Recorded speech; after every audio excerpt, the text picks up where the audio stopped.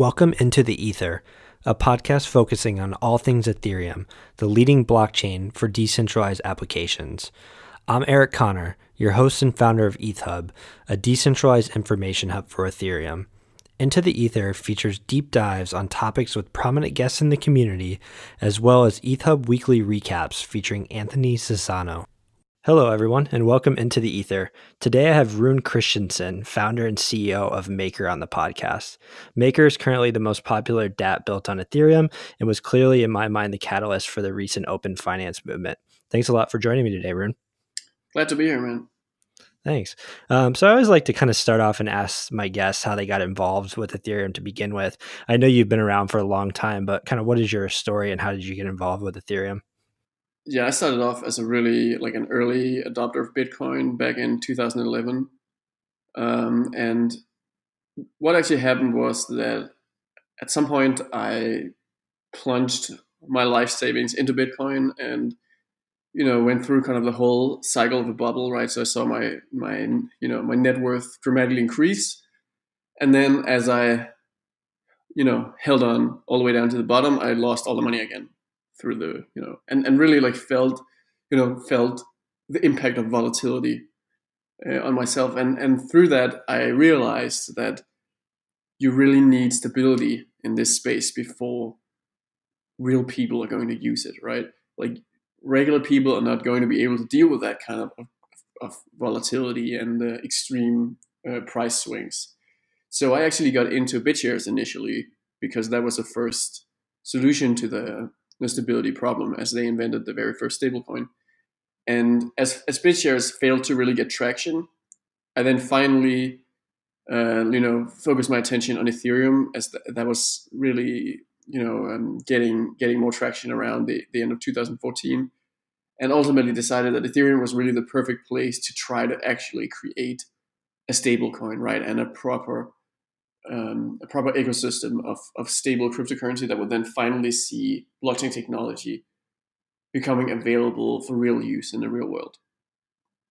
Yeah, that's interesting. I, I was going to ask you if you had the vision uh, for Maker kind of before you even heard about Ethereum, and it sounds like you definitely did. And I mean, I think we're all going through a period of high volatility over the last few months. I mean, we of course had another huge bubble, and then a burst of the bubble, and you know, down ninety percent. I think you know the launch of Dai around that time. I mean, first of all, it was amazing to see how stable it stayed through the crash, and we'll, we'll get into that as well. But I think it really kind of opened people's eyes to, hey, if we're going to go mainstream here, like a lot of us might not mind holding Ether and the volatility that's related to it and Bitcoin as well. But to really go mainstream, people are going to want that stable coin to hold on to, at least for a decent amount of their portfolio. Yeah, absolutely. I mean, and especially in terms of, of you know building apps that are just apps for some real world issue, right? Like let's say something like like a remittance app or some sort of accounting system or anything like that. I mean, at that point, people don't even want to know that there is blockchain or cryptocurrency under the hood. They just want to see US dollars, right? And then they want to save and want to get better user experience because of the efficiency and speed of blockchain.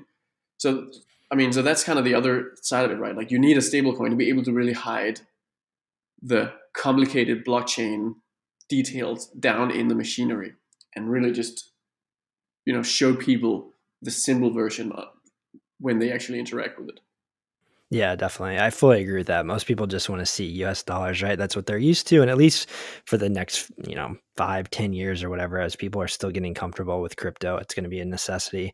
Um, so I, I, think that's a good background. I'd like to transition into Maker and then obviously talk about DAI and CDPs. As I mentioned in the intro, this is definitely, I mean, it has to be the most used app on Ethereum right now. Uh, there's over 2 million Ether locked in the contracts in total, at least last I checked about a week or two weeks ago. And I'm sure most of the listeners have heard of Maker and DAI, but can you just give kind of a quick overview on how the system works um, and then also the importance of the Maker token and kind of how DAI is created? Uh, like very simply, right? DAI is the stablecoin that exists for regular users to be able to use blockchain and crypto without having to really worry about volatility or advanced blockchain details. Um, but sort of DAI is really just the tip of the iceberg, right? Um, you can say sort of the, the other side of the coin uh, is this whole mechanism that backs the stability of DAI, which is really the, the, the, entirety of the, of the maker system. And um, you can say the first layer, or sort of the most fundamental um, aspect of the system that, that backs the stability of DAI, is the collateralized lending. Um, so the CDPs, right? The collateralized debt positions that enable people to lock up collateral, post collateral into the decentralized smart contract system and use that to actually borrow DAI. Um, and the, the key rule is that to borrow DAI from the maker system, you must put in an excess of collateral, right? So you must put in, let's say, $200 worth of Ethereum, and you can then use that to borrow 100 DAI. And you can then go and spend that 100 DAI on it can be different things, right? Some people have, have made like these big loans to, to actually purchase cars or finance their business or something like that.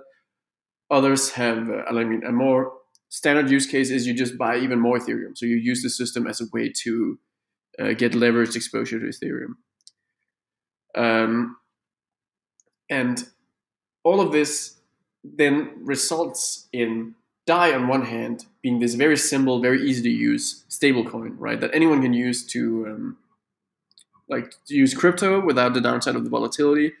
It's actually very easy to use. You know, you can it works just like Bitcoin, except it's it's stable at one dollar. Uh, and you don't need to worry about all the complicated stuff. Like you don't need to worry about CDPs or Maker or any of that to use DAI. And that's really what most people who use it, like that's how they use it, right? They don't go deeper than that. Just like you don't need to know how the Federal Reserve works in order to use uh, USD cash bills, right? Um, but that advanced component of the CDPs and the underlying stability and all of that does have to exist, right? Because there must be a very strong guarantee in the system that ultimately there is more value in collateral than there is DAI in circulation, right? Like so for instance today there is something like 92 million DAI in circulation and that is backed by around yeah something like 250 to, to 300 million dollars worth of ethereum tokens as collateral. So ultimately that really ensures this very high um, level of over collateralization right that guarantees that even in the event of a crash in ethereum or something like what we saw you know all of, of last year right like a slow uh, but but very um, persistent crash over a long period of time.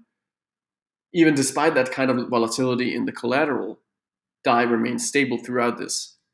And ultimately, the way that is ensured is through um, the maker governance and the MKR token. So the MKR token is the governance token of the system. And ultimately, it actually votes directly in the system to set the rules of the game, essentially. Um, it, it regulates what the terms and the parameters that people who deposit collateral like ETH into the system, what kind of loans they can then get. Um, and, and that has to be regulated in a way that ensures that on one hand, you know, the system is as efficient as possible and doesn't just extract rent from its users, right? But actually is, is meant to, to serve the user and give them the best possible conditions. But also at the same time, keeps the whole system stable and, and safe, right? In the sense that there's enough collateral requirements and there's enough over collateralization to to make sure that the system can withstand even the most significant um, shock and impact to the to the collateral. Um, so that's how all of these different parts fit together, and ultimately it's kind of like depending on who you are, you can de- decide how deep you want to go. Right? Most people they don't really worry about anything other than just DAI and just using DAI, and ultimately they can just look at the track record of the system, right, and see that it has remained stable for more than a year at this point. Um, the more advanced users, they actually use the CDPs and actually borrow from the system. Um, and ultimately, the real, like those who really want to go deep and really want to be specialists and actually be a part of governing the system itself, they get into MKR and so the end-to-end, um, you know, uh, complex complexities of, of actually governing and, and managing the risk of the system. Yeah, I, I, think that's a great explanation and kind of covers all the aspects. And I guess the most important part there is that every DAI is backed by or it's over collateralized. So if you if you want to escape to stability from the volatility of ether, you can go and lock up, you know, hundred dollars worth of ether, and you can draw down maybe whatever you want, fifty dollars worth of DAI. So that's backed by collateral that protects it, and that's why it can.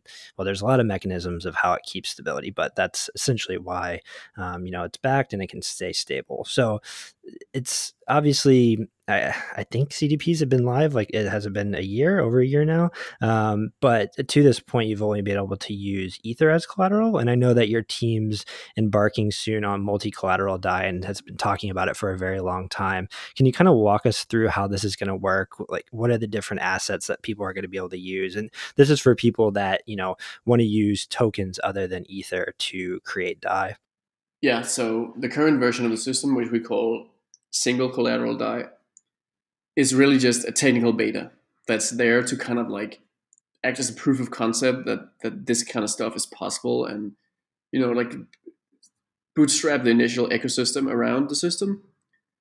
Uh, but ultimately, the whole innovation of Maker and DAI and and the promise of it is this ability to use multiple types of collateral in the system because that is how you actually get real scalable and, and long-term sustainable stability and ultimately are able to build something that can have an impact in the real world and offer a you know a very compelling alternative to traditional finance.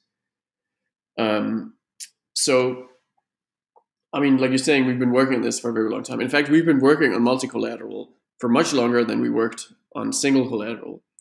Um, you know the, the, i mean the project really started very late 2014. Uh, so it's more than, than, than four years, right? That that we've been working on this. Um, and where we are now is, I would guess, in, you know, in the very very end of the launch phase, right? So everything is pretty much done. I mean, all the code is there, um, except some few, um, you know, a few components and like a very a few details of the of the system. Uh, most of the security work has been done, right? Like, and and what we're doing now is just like this endless testing, endless like live um, environments, and and and like you know making sure everything fits together and and all of the components and all of the aspects that go into actually having a successful launch. Um, that involves you know upgrading everyone who's currently using single collateral DAI into multi-collateral DAI, for instance um, as well as just like a whole lot, you know, like upgrading all our partners, getting everything, getting it all to run smoothly. Um, that's kind of where we're at now, right? Like preparing for that very last step of actually doing the launch itself. And in terms of a timeline, I mean, we don't know exactly when it's going to be possible to launch because it's kind of hard to predict something like, um, you know, outcomes of security audits, right? And um, and just like the timeline for for for like last mile polishing. Uh, but it's definitely coming very soon, right? And and I'm confident it'll be this year, um, and hopefully sooner rather than later. And yeah, so and and and and and like I was saying, right, the transition will really be just an upgrade, right? So people who who hold um, like people who hold MKR, they will not have to do anything; they'll just be transitioned over automatically. Uh, they will have to vote for the the upgrade itself, though people who die will be presented with basically a button they have to click to upgrade their DAI from single collateral DAI to multi collateral DAI. And the same goes for CDP users. So you have to kind of like upgrade your CDP. Um, and then the result will be that like things should, you know, the system should just really significantly improve, right? Like liquidity will get better because there's more collateral types, the stability will get better as well. Um, there'll be new use cases in terms of now you can add new collateral into the system, and and also for sort of the governance of the system, there'll be this whole new uh, universe of complex governance decisions that has to be made around what kind of collateral will be added to the system, um, which is something that we've only recently started to really get traction on and really get momentum on in terms of having this fully decentralized governance process of MKR holders from around the world actually directly, you know, participating and ultimately controlling the governance of the system. Nice. Yeah. So, are there going to be any default collateral types out of the box, or is everyone going to have to be voted on? And then, uh, kind of on that same point, do you worry at all about maybe more illiquid collateral types being added and, and adding risk to the system, or what are your thoughts around that? Yeah. So, there's no, I mean, um, ultimately, MKR holders have to vote in collateral, right? So, there's no such thing as default collateral. I guess, other than ETH, it's just obviously going to be added, right? Because it's currently supported. Um, on the other hand, you could say everything is default collateral because really the approach is not really whether something will be collateral or not. It's what are the risk parameters going to be, right? It's going to be like, um, like, like what kind of, of, of interest rate and what kind of over collateralization will you need for whatever coin you want to use in the system. Um, only like what I would call complete scams and just like completely obviously worthless stuff will not be added at all.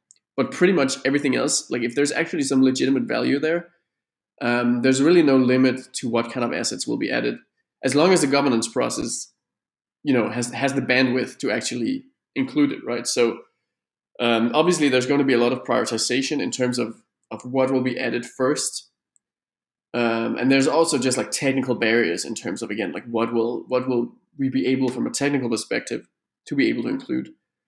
Um, but yeah ultimately um, it's going to be up to MKR holders and the, the initial scope will be top ERC20 tokens right? Because those are the ones that are the simplest to add from the from the from the technical perspective. And as a result that's what's going to be available to choose from at launch of MCD right? Because the more the more complicated stuff, like for instance centralized stablecoins or security tokens, there like there's another layer of, of technical complexity that has to be built first before before those can be added. But sort of straight up, um, what I would call pure ERC20 tokens, like something like Augur, Rep, or you know Omisego, which we did actually announce in the past that we were going to consider as collateral. Um, those those are a lot simpler to add because they're just a basic ERC20 token. They're they're really no different than adding Ethereum from the technical perspective. Yeah, that makes a lot of sense. And you, you definitely want to make sure, or I guess maker holders need to make sure, right, that the collateral they're adding has enough demand if something's liquidated. I, I guess for those maybe not aware, if your collateralization ratio slips below 150%, so say you, that example earlier, you you wanted to pull out 50 DAI and you collateralized $100 worth of ETH. Um, if Ether price slips below the collateralization ratio, your position essentially is going to be margin called. Um, and then people are going to have to buy your your ether on the market um, to kind of cover your debt position. So, you know, uh, that obviously has to be somewhat of a concern, right? For maybe some of these. I mean, once you get past maybe the top five or so top ERCs, it probably shouldn't be a worry. Um, but what are your thoughts there? Like, how do you offset that? Is it that you think uh, it's going to be voted that the collateralization ratio is just maybe higher than 150%? Well, yeah. So, I mean, how to actually approach that is it already gets quite advanced uh, in terms of, of how you deal with this this kind of, of uh, dilemma from a risk management perspective. But I guess the very short answer is that you just make sure that the um, like the less liquidity there is in an asset, the less of that asset you want to have in the portfolio, right? And then there's various ways you can you can um, you can control that. One very obvious way is using what's called the debt ceiling, which really just puts a cap to how much of a particular uh, asset there can be debt in a system backed by that, right? So you could say we will not allow more than 20 million DAI to be generated um, that's backed by Omisego, right? Something like that, right? Because we that's the absolute maximum we would we you know we we we think the market can absorb, um, or something you know like that's kind of how you would reason about this, right? Of course, in reality, it's you know you kind of want to have something that's a little bit more sophisticated than just some maximum cap, right? Um, yeah, but you know that's something that that like initially we'll start off with a relatively simple model, but ultimately we do have like highly highly sophisticated models for this stuff that are you know that are basically based off traditional risk management. So how you do this in the real world with when banks, for instance, uh, you know, give portfolio margin and and uh, just relying on all the you know the historical and, and sort of the scientific basis there is um, behind you know just this advanced field of, of uh, risk management um, and and yeah, so that ultimately gets us back to what I was saying earlier, right? That in the end, you can pretty much include anything. You just have to make sure you include it on the right terms, right, and you manage it correctly. Yeah, that makes a lot of sense. And the, the, cap's a good point. I mean, you guys, when you launched, you had a smaller cap on Dai that can be created from Ether than that we're at now. And we're actually almost up on the ceiling again. I think we're, is it like 8 million Dai away or something like that? Um, and, you know, on that point, there's been a lot of discussion recently about Dai and kind of slipping below its peg a little bit. Mainly, I think I was observing this on Coinbase where the price first USDC fell, I think, to around like 97 cents or so. Um, and the reaction to that is a mechanism in, in the governance process that's called uh, the the maintenance fee for CDPs. So basically, um, it was raised to 3.5%. So if you think of it in a typical loan term, you're kind of, if you're taking out a CDP, you're ha- having to pay interest on that. Um, it was, it's kind of moved around a little bit. It was at 0.5 at a point, and now it's been moved up to 3.5. Um, and this was a measure to kind of get that peg back into place. Is that right? And can you kind of explain to people why, how this mechanism works to float the peg back to one? Yeah, so the stability of DAI is fundamentally like I mean the long term stability of DAI is backed by the collateral in the system, right? That's why that's how you know DAI isn't worthless because you know that all that collateral is sitting there. So you're you know there is enough collateral in the system to back the value of your DAI. But the way to to you know the way to target the market price of DAI, right? So actually ensure that DAI really does trade around one dollar in the marketplace.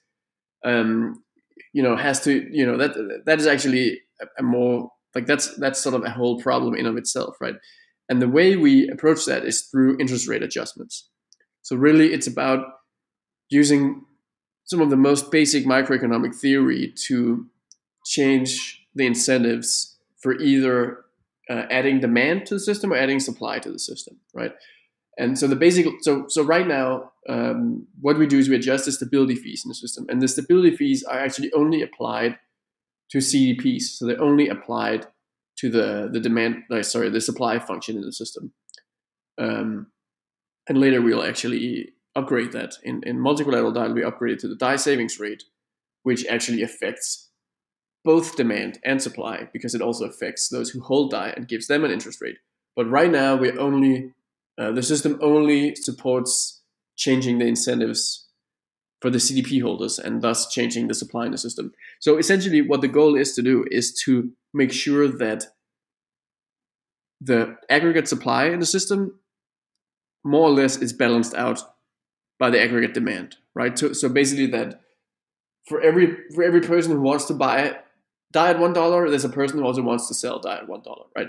And what happens if there's too much on either side, right? So let's say there's too many people who want to sell DAI. What ends up happening is, you know, like the, you know, kind of like supply and demand and uh, you know just like the you know, like fundamental incentives kind of step in and mean that people would now start to sell DAI below one dollar potentially right if there's just too much supply and not enough demand um, and then what you have to do is you have to modify the incentives so that you will actually be able to decrease supply and as a result get it more in line with demand. And this is where the stability fee comes in, right? The rate for borrowing from the system, because the higher you set that rate, the less attractive it'll be to borrow out of the system. And then, yeah, like you said, right, we recently uh, like suffered more, like more, really more volatility than we've seen um, pretty much at any point in time, um, which was caused by a combination of very low interest rate in the system, right? A very low stability fee, um, plus the fact that there's this new, like renewed, at least um, sideways sentiment in the market rather than a, a, a, you know consistent bearish trend over time. Um, and those those two factors combined meant that suddenly the DAI supply just exploded. Um, and then the governance has been playing catch up and has been really incre- been been steadily increasing the stability fee to try to to balance out the supply, right, and, and get the supply more in line with demand. Um, and uh, I think what we've seen now is that there's been some effect finally from this recent increase we did, where we actually jacked it up by by two percent in one uh, in one adjustment. Uh, but I also think that overall, this is still just like you know there's still more more room to go to to a large extent right because there's actually a lot of like there's a lot of factors that play into this and not just the price in the market but also like the overall conditions of liquidity Um, and um, I mean, more than anything else, this has been a really incredible kind of like live, um, you know, lesson of how the, the system is supposed to work and the governance around the system. And especially been a lesson in what happens if the governance doesn't react fast enough, right? And also, ultimately, uh, kind of a, a, reinforcement of the, the very basic assumption of the system, such as microeconomics actually does work, right? You can, in fact, uh, manipulate market price by manipulating the incentives around supply and demand. Um, and uh, and yeah, like all in all, um, the governance process is very likely to be able to handle this kind of issue much better in the future, right? Because it's really only been been bootstrapped very recently and, and gotten started very recently. So um, overall, I think it's really exciting. I mean, there's really in general so much excitement around the governance process and and uh, and, like all sorts of like you know we have reporters from CoinDesk, for instance, sitting in on the meetings now and, and reporting on them in real time, which I just think is, is really cool, right? And it's sort of a new um, dimension to to just like how transparent and how decentralized this system is meant to be. Do you think that over time the process will become more efficient and faster? Not necessarily automated, but you know, almost to a point where it can react faster. And uh, do you think multi-collateral DAI will add like how do you envision the governance system working efficiently when you're having to manage say five or ten different um, stability fees um yes i mean i definitely think that it's going to like i think in the long run it'll be essentially a highly overseen and highly uh you know yeah like highly managed but ultimately automatic process right? Where you have people at all times kind of like overseeing and watching this automatic uh, system that that that gets as much data as possible um, that has already been agreed on by the governance process that data with the cutting edge algorithms that we have for it and then ultimately reacts in direct like as, as close to real time as possible to um, to the dynamics in the market right um, but that's very far out in the future, right? In the short run, I think we will just we will achieve incredible efficiency and liquidity and stability just by getting good enough at at um, controlling the the process that we we we look you know that we're preparing to have at uh, at launch of multi-collateral DAI, which is a, like just one adjustment every week, right? So every week we'll just like process the changes in the market dynamics and then almost always do some sort of adjustment and then, of course, in a few cases when really the market conditions is exactly the same as they were the, the week before, make no change. But just in general, always try to make a bit of an adjustment based on the data we're seeing, right? I think through that, we'll already already like be able to really achieve some some quite incredible um, efficiency of monetary policy if it's also combined with a lot of different collateral. Gotcha. Yeah, that's interesting about adjusting it weekly. Do all of those require governance votes, or is that something that's built in automatically to the system? Yeah. So in in uh, multi-collateral DAI, um, you know, first of all, we'll have the DAI savings rate, right? So we'll have a mechanism that actually both manipulates the incentives to generate supply in the system, but also to uh, demand um, holding DAI, right? because you'll actually be able to take your DAI and deposit it into uh, the DAI savings contract, which will then give you a you know a very modest, very um, like low risk, low return um, you know savings rate on your DAI over time, right? And and this then means that when we want to change, like if the let's say the price is too low of DAI, right?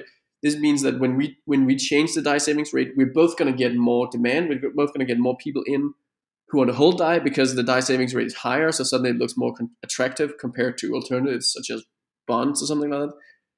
But at the same time, uh, increasing the DAI savings rate is also going to increase, uh, you know, the fundamental interest rate of, of all the different CDPs in the system. So it'll also affect supply, right? So we'll have this double effect of both reducing supply and increasing demand when the price is too low, bringing it more closer to the peg, right? And and the same effect, but in reverse, if the price is too high, where we can actually decrease demand and increase supply simultaneously. And um, this will then have like this will mean that we will need much smaller adjustments to have a much stronger effect. Um, and then yeah, like you were saying, that this will be done through like I would call it like a, kind of like a shortcut mechanism, right? So we don't have to go through the very elaborate governance process, but rather what we do is we have the governance process essentially approve uh, a, a, mechanism that creates this this shortcut that then allows the governors who want to participate in in the stabilization to then um, operate within a more restricted framework where you don't need to have as much people participating um, but then also there's no risk that they can just go in and like change like you know make huge adjustments to the savings rate or something right? There'll be this like very uh, very strict predetermined um, you know window within where changes can be made within right? It'll be very easy to undo any sort of attacks or any sort of of uh, bad behavior used against this mechanism Gotcha. I'm personally really excited for the DAI savings rate. I mean, it, to be able to earn interest on DAI that you hold, first of all, it's going to add a very essential component to the system. But just from a user perspective, will will be nice to kind of you know have a savings account type thing out there. What what's your hunch on? I know it's very probably an unfair question, but where's your hunch on kind of where that DAI savings rate will be? I guess if you took like maybe today's market condition, what do you what do you think that'll look like interest rate wise? Uh, I mean, yeah, that's that is really hard to predict, right? But I think I think um, like a, a kind of like a, a, hunch that I have is that you would end up with a DAI savings rate that was about half of the current stability fee, right? Because you have this double effect. So instead of needing to have a stability fee of let's say four percent, if if you have the savings rate where you actually are both affecting supply and demand, it would maybe only need to be two percent because you also have a two percent effect on the demand side.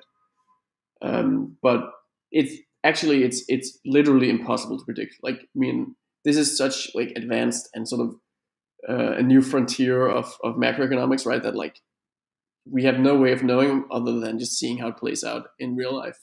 And I would also say that in general, it's going to to be very volatile in the early days, right? As the system um, is just getting started and new collateral is getting added and it's just like growing at a steady pace, but still it's very small in the grand scheme of things there, there's going to be significant volatility in the savings rate and, and the general rates in the system as, as governance just like learns the ropes, right, and, and gets better at, at controlling the system. But over the very long term, um, the rates should really equilibrate with essentially the global um, interest rate regimes, right? So you would have the the the, sa- the DAI savings rate for the U.S. dollar pegged DAI, you know, and landing around the interest rate for US dollars, right? And, and in general, that's how it will play out because ultimately it's an arbitrage opportunity, right? So if, if the DAI savings rate is significantly higher than the rest of the global economy, you'll just have you know people shifting over their assets into DAI until the interest rate goes down. Yeah, makes sense. So uh, it'll be, I think that's going to be a very highly used product. I think a lot of people are learning to or wanting to earn interest on there. And of course, it's going to depend on the supply and demand, but a lot of people are wanting to earn steady interest on on their crypto. And you can do it on compound. I think that's around 3% for DAI right now, but um, kind of being built into the maker system is going to be powerful. We've talked about governance a lot. I, I personally think, you know, governance is very early um, on blockchain systems. It's going to kind of take years for us to fully figure it out. What's kind of your take on how the systems work so far? I mean, I guess one of my biggest things I see, there's very low voter turnout and apathy. It seems to me like voters kind of just follow the suggestions of the teams um, that for the suggestions that they put out. Um, do you kind of see this changing over time, or what do you think the solutions are to kind of getting this voter apathy to turn around? Yeah, so when we when we when we designed the maker governance system, we we predicted that voter apathy would exist, right? And in the end, we've ultimately like the, the other like the other part of the story is that we don't even really think that voter sentiment is that important in terms of, of making decisions, right? Because what we want with Maker is a system that is governed to be optimally stable, right? And and work as best as it possibly can for the users. Um, and that is actually not necessarily uh, completely aligned with um, you know what MKR holders would choose if they just got to choose whatever is best for them, right? Like if you if you really made it what I call it the choose your own adventure style of governance, where it's really just a popularity contest of whatever people want to vote for, right? So what we've actually focused heavily on with maker governance is to um, essentially just look at MKR and, and on-chain voting more of a security mechanism, and maybe even you could say an oracle mechanism that um, ultimately votes through what has been agreed upon in the in sort of the, the, the higher layer of the governance process, which is the social layer, right? Like the actual discussion around like what is it we want to achieve and and how do we achieve it and what's the data and what's the models and what's the theory that supports what we want to do, right? So that is what I think we are incredibly advanced at and, and doing incredibly well at with Maker, right? So we have these uh, weekly governance meetings with just a huge turnout, right? Incredible uh, participation of of really of like experts from all around the world, right? And in particular, we have things like institutional stakeholders, right? So hedge funds um, and and other types of institu- institutions, right? That that are that have that have bought MKR, and then as a result, they're incentivized to really participate in this process of of you know deciding and, and collaborating on really doing the optimal governance of the system. Um, and as a result, we, we are in this situation where it's not, I mean, what that means is that it's not the team, for instance, not the foundation that decides what, um, you know, what the governance community is going to vote on.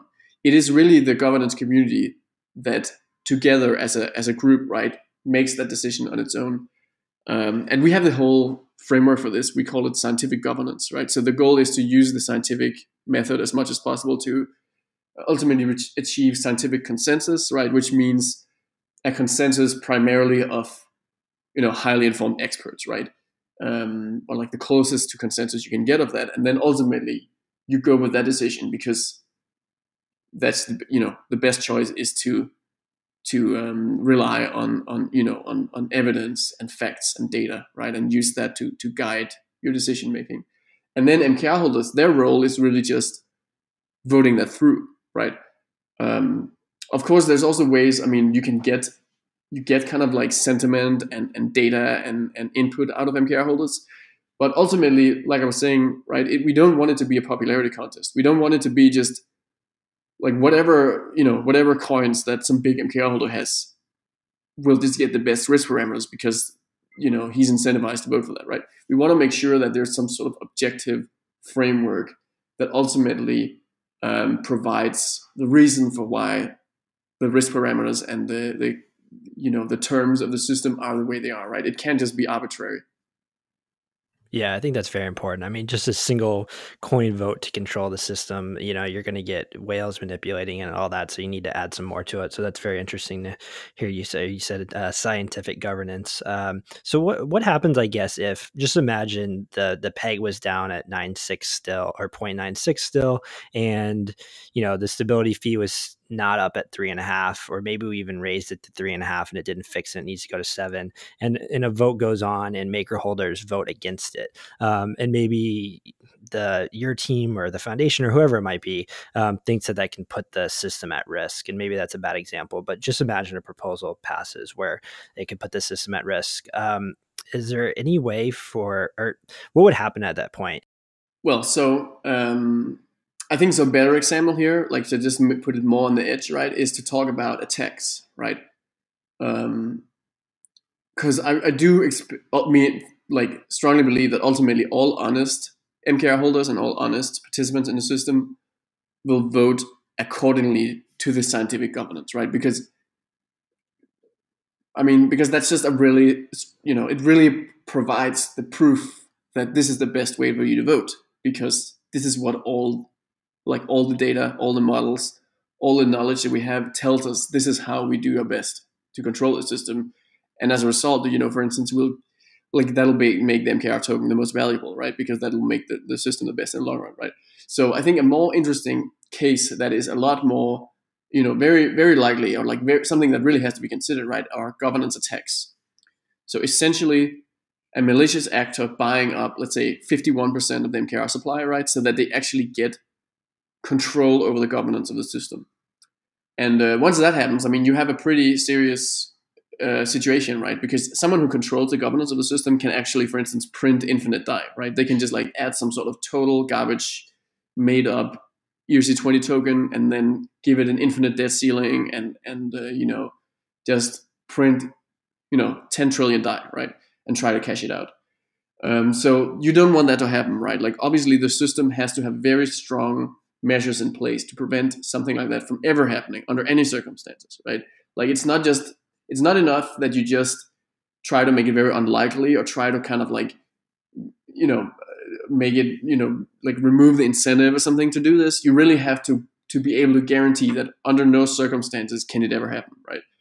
And where like what that leads us to is um, like first of all the fact like the the the principle of security delays, right? So any sort of modification that's made to the system, such as a governance action, is always done with a very long delay to it, right? So you actually try to like implement the change to the system, but the the change, the new state doesn't go through until after a significant waiting period. And in this waiting period, this is where you know the, the community has a chance to protect against attacks, right? This is where there's a chance to basically, in, you know, like and really a guarantee that as long as there's just like a very minimal level of, of honest actors in the system, um, you'll you'll be able to completely mitigate an attack. Um, and the way that the way it's mitigated is through what's known as the emergency shutdown. So the emergency shutdown is actually like it's pretty much the most important feature of the system, right? It's the feature that guarantees you as a DAI holder that ultimately the worst thing that can happen to you is that the system shuts down and for every you know for every DAI you have you're going to get one dollar worth of collateral. And you can really go and you can verify this is the case in the code and you can go and you can verify that the assets are there in the blockchain and that's how you know that okay no matter what happens this is going to be worth one dollar right?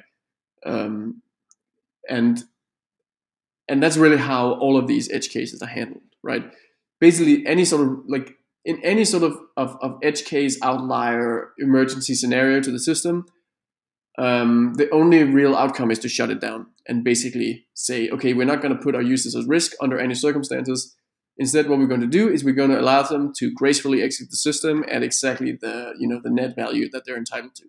And then immediately after doing an emergency shutdown um, depending on, on the circumstances in where it happened, right, you will usually be able to just redeploy and restart the system again in, in, in the exact same state, except you can remove whatever bad parts that caused the emergency shutdown in the first place. So, for instance, if someone does a, tries to do a 51% attack, you'll you'll do an emergency shutdown of the system, and then you'll relaunch the system, but you'll relaunch it without the MKR of the attacker, right? So he basically gets to pay the price of getting all his MKR um, forked out of the distribution, right? Um, and everyone else they just switch over to the new system. I mean, it's not going to like it's an annoyance, obviously, um, but it's actually possible to handle it quite gracefully. So for regular users, all an emergency shutdown that is is redeployed and and ultimately um, allows the system to go on. All they have to do is just click a button on the phones, right? They just have to like click a button to upgrade the DAI. Uh, quite similar to how they have to upgrade the DAI from single collateral DAI to multi collateral DAI. So I mean, it, it, gets more advanced than this, obviously, but this is kind of like the fundamentals of the game theory around how the governance ultimately is kept safe from all sorts of, of strange edge cases.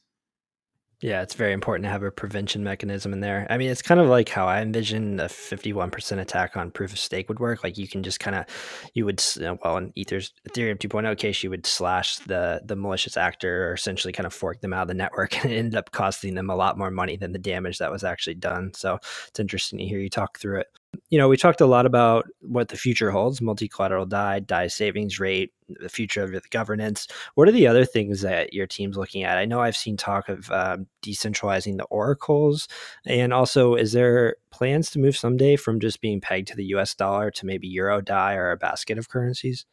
Yeah, so so the plans for the oracles is primarily it is to first of all, like the most important thing with the oracles is to also completely mitigate uh, the impact of malicious oracles in the system, right? So this is and this is done with the same logic as as how malicious governance is is mitigated, right? It is by imposing a delay on the data from the oracles and ultimately reacting to bad data by shutting down the system and restarting it without the malicious oracles.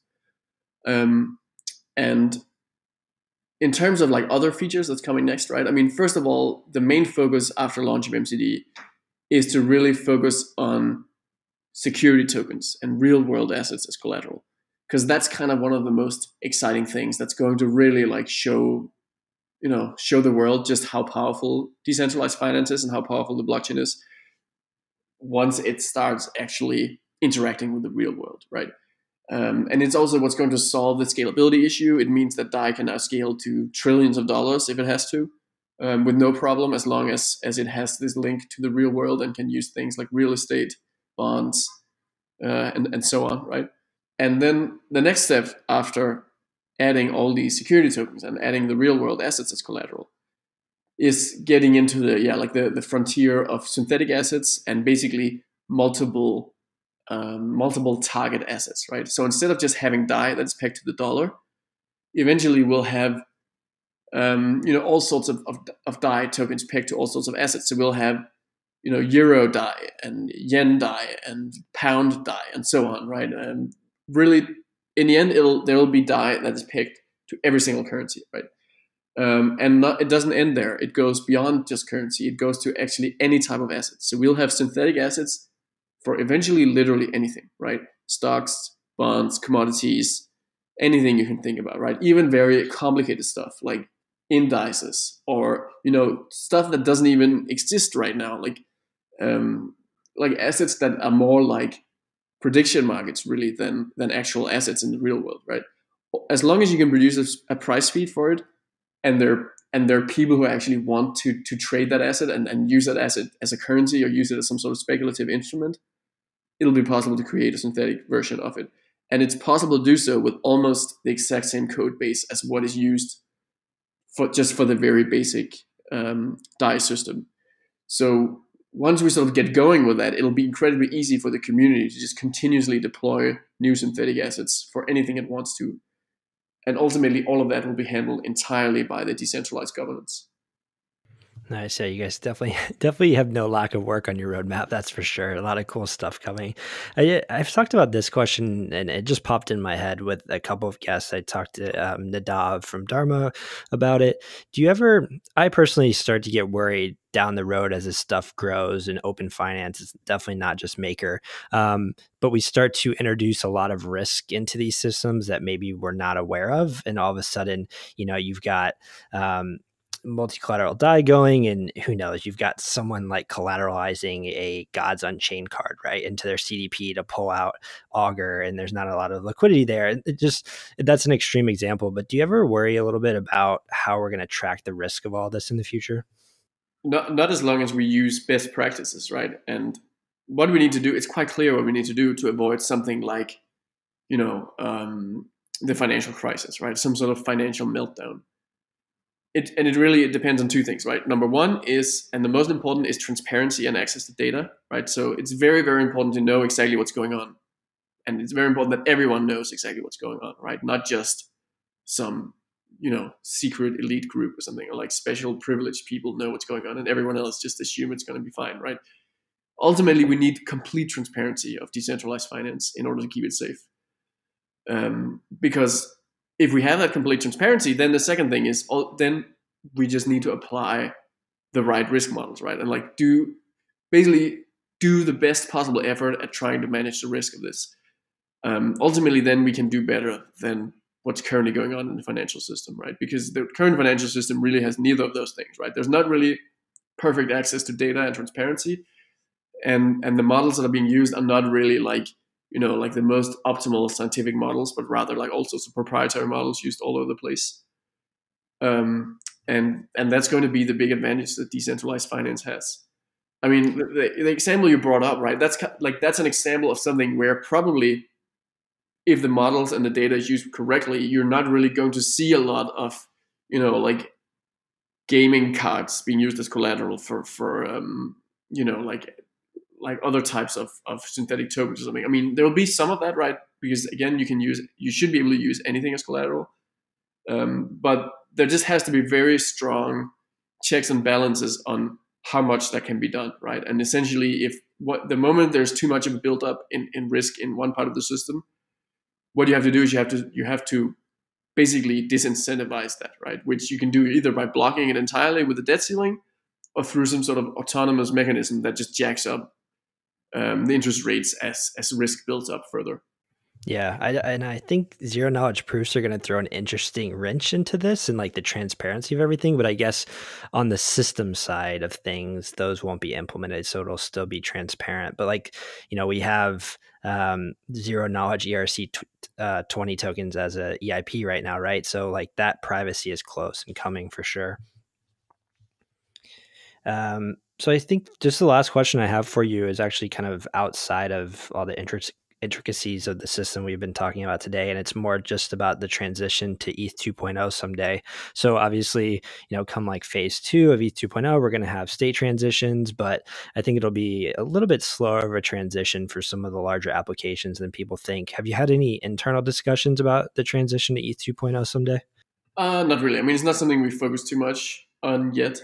Something that's interesting is that it's not really like there's not really any guarantee that the Ethereum ecosystem will actually transition over to ETH 2.0, right? You could easily have a scenario where um, the Ethereum apps decide to move to some other blockchain because what's actually going to happen is just the old Ethereum blockchain will just get shut down, right? Um, and then people have to move. But it's not really that there's not really going to be anything that's going to facilitate the move over to specifically ETH 2.0.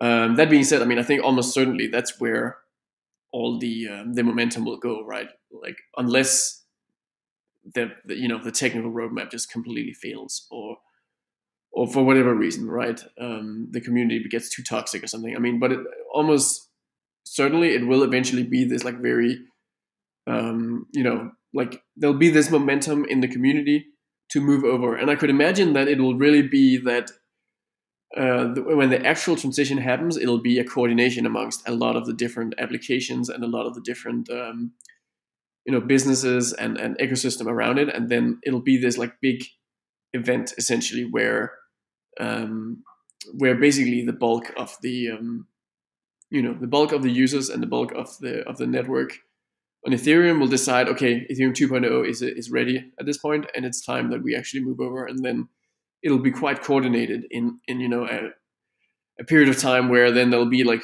massive like turmoil obviously in terms of uh, nothing works suddenly everything is in, is in maintenance mode and is switching over.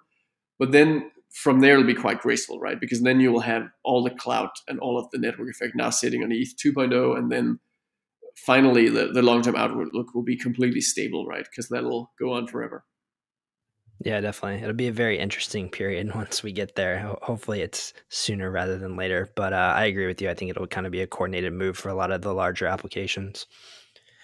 Well, Rune, I really appreciate you joining me. I think this has been a great conversation, and thanks for joining the podcast.